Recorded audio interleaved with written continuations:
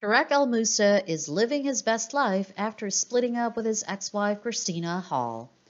Tarek opened up about what his life was after his split from Christina Hall. He said he lost his way. Tarek El Moussa and his ex-wife rose to fame on the hit show Flip or Flop. Tarek and Christina were married in 2009 and got a divorce after nine years of marriage. The two met at a real estate office where they worked together. Eventually, the two fell in love and started dating. They ended their marriage after being together for nine years. The former couple started flipping houses together after the house market crash hit them hard financially. Later, they sent a video to HGTV just for fun. They were shocked HGTV offered them as a show, Flip or Flop, that aired in 2013. The show was a big hit. The reality house renovating show aired 64,565 times to more than 90 million viewers during its nine years run on HGTV. There are no more seasons after season 10. Throughout the year, the two have faced many ups and downs in their life. El Moussa was diagnosed with cancer twice. He was first diagnosed with stage 2 thyroid cancer, and a month later, he had testicular cancer. Tarek revealed that the effect of cancer treatment, unhealthy lifestyle, and stress caused him to feel lost. This led to the downfall of his marriage.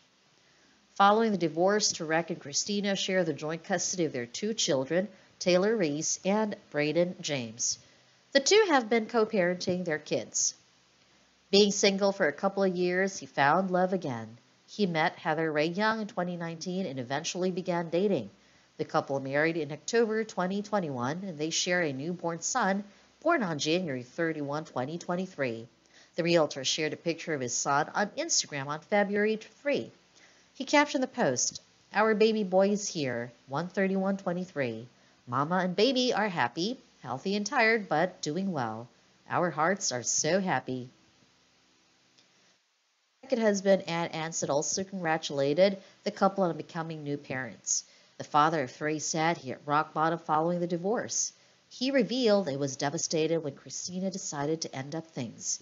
They separated in May 2016 after the police were called to their home in California about a possibly suicidal male with a gun.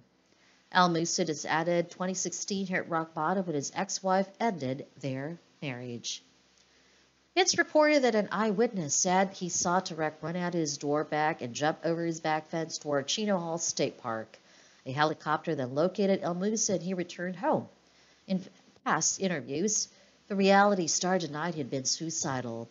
He explained that he was not doing well physically and mentally. Following their separation, he tried to figure out who he was and who he wanted to be. He did a lot of work on himself to get where he's now.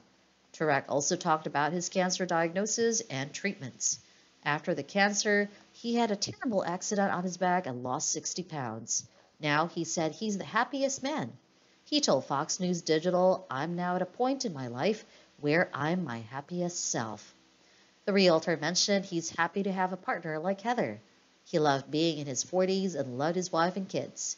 El Moussa is coming on the screen with a new show along with his wife, The Flipping El Moussas, that airs on March 2.